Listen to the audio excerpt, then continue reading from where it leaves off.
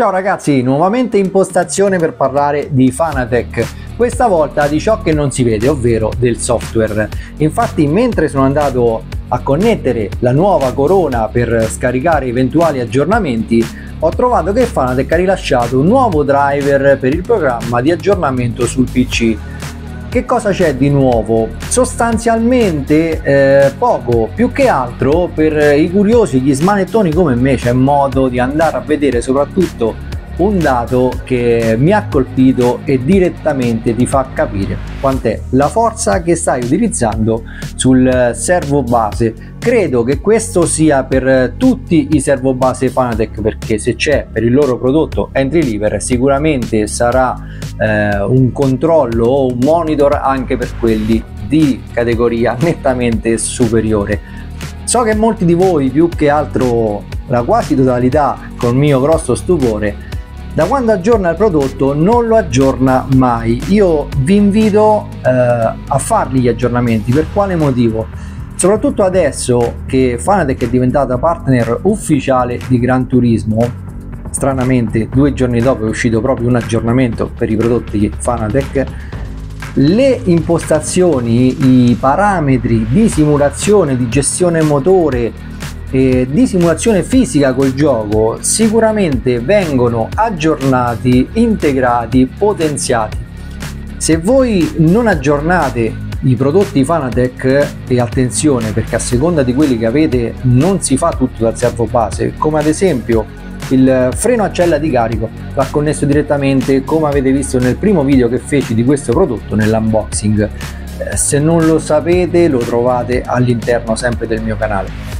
Per il resto la corona invece si aggiorna dal servo base sempre, connessa direttamente al PC. Quindi ragazzi fateli questi aggiornamenti perché potreste per assurdo avere eh, un Fanatec Podium ma non aggiornato alla versione attuale del gioco e che quindi potrebbe fornirvi un feedback di gioco non congruo, non reale rispetto a quello che realmente sta succedendo vi sembrerà strano ma è una cosa importantissima, quindi vi invito assolutamente a fare gli aggiornamenti dei vostri dispositivi. Sfruttate questo video perché adesso eh, passiamo sul PC, vi faccio vedere dove reperire il programma per PC, va scaricato, una volta scaricato va connesso ovviamente il servo base tramite USB o il freno come vi dicevo nel mio caso direttamente sempre con un suo cavo USB al PC per fare l'aggiornamento. Selezionate qui ad esempio sul DD Pro tramite il pulsante l'apposita configurazione per la connessione al PC ad esempio qui la luce che indica la connessione al PC è rossa alla PlayStation è blu. Questa è la pagina Fanatec dove trovate il nuovo software rilasciato la versione 4.51 quindi effettuate lo scaricamento troverete nella cartella dove andrete a scaricarlo un file zip che va estratto. Aprite poi la cartella installate un x32 e un x64 in base al vostro sistema operativo. Una volta installato connettete il cavo usb del servo base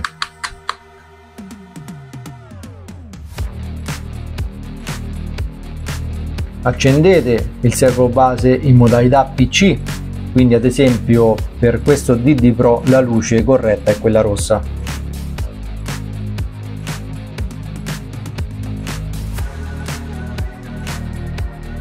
Apriamo il Fanatec Control Panel. E questa qui è la schermata del programma che ci permette di andare a configurare i vari parametri e aggiornare i firmware di ogni singolo dispositivo.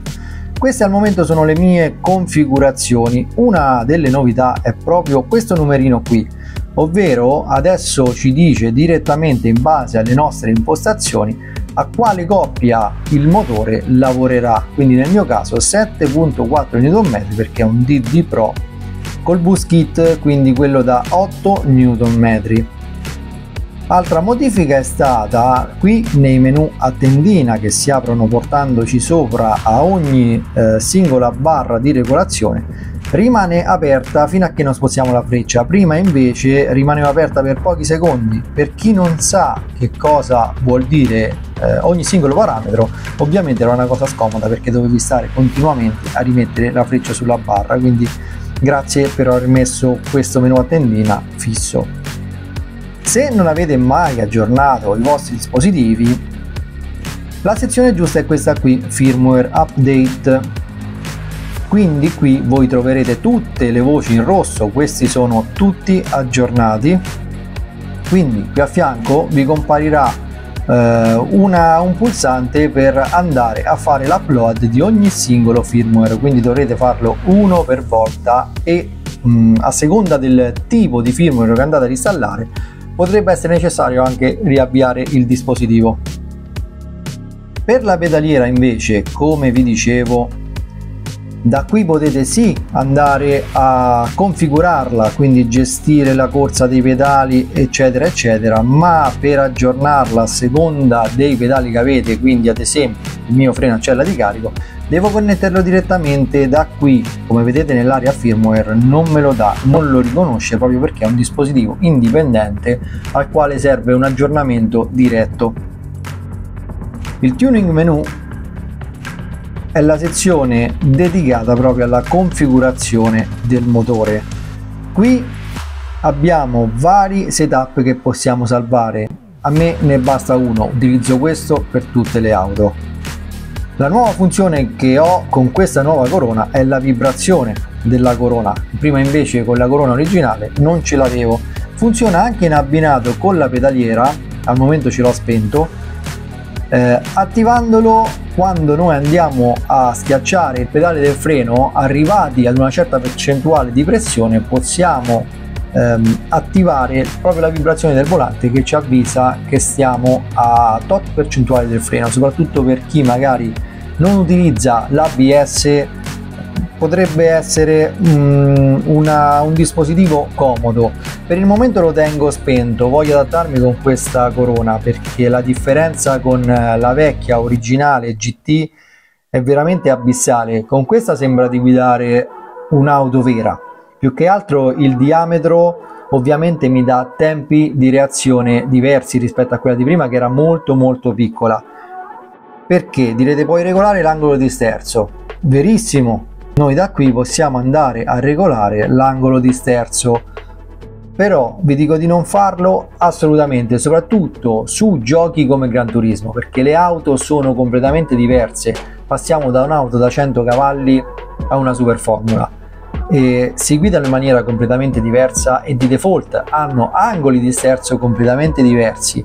Quindi andare a dare un determinato angolo 1890 gradi lo stiamo dando fisso per tutte le auto. Capite che non può funzionare eh, su eh, una Civic del 98 eh, rispetto a una Mazda 787B sono due macchine completamente diverse che si guidano in maniera diversa hanno degli pneumatici delle sospensioni qualsiasi pezzo diverso e non si guidano uguali. Quindi andando ad impostare un angolo preciso guiderete malissimo il mio consiglio, ma quasi ve lo impongo, tenetelo con giochi come Gran Turismo dove le auto sono completamente diverse, tenetelo su auto perché andrà a prendere l'angolo di sterzo impostato per quell'auto. Capite che essendo 4 mesi che utilizzo una corona piccola, adesso passare a una grande comunque non è cambiato poco, diciamo che mh, mm, ci sto lavorando.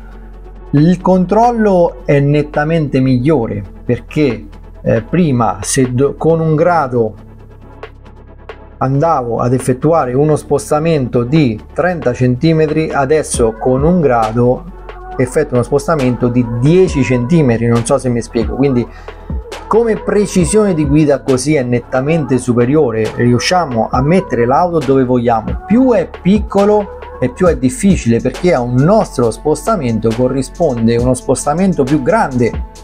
Più ingrandiamo la corona e più lo spostamento che facciamo ruotando allo stesso grado è più piccolo. Spero di avervi fatto capire. Ovviamente non significa che dobbiamo mettere il volante di un autobus perché altrimenti a voglia girare. Dobbiamo mettere il pomello come muletti ecco Bene ragazzi, per una volta aggiornati tutti i firmware per disconnettere il dispositivo non è possibile farlo dal PC perché non lo riconosce tipo come un mouse. Quindi che cosa dobbiamo fare? Spegnere il servo base assolutamente prima di disconnettere l'usb andate quindi a prendere un pc anche se avete windows xp non cambia nulla. Va fatto solo un aggiornamento del firmware quindi basta un comunissimo computer.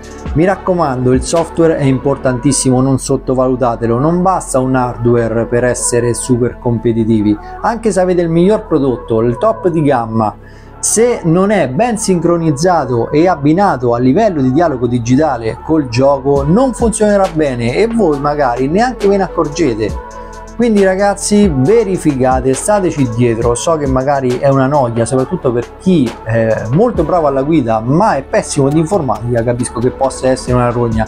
Ma il mio consiglio è controllate costantemente datevi una scadenza e controllate. Se avete degli aggiornamenti per i vostri dispositivi anche se non sono Fanatec qualunque essi siano a livello di simulazione è importante stare sempre al passo coi tempi.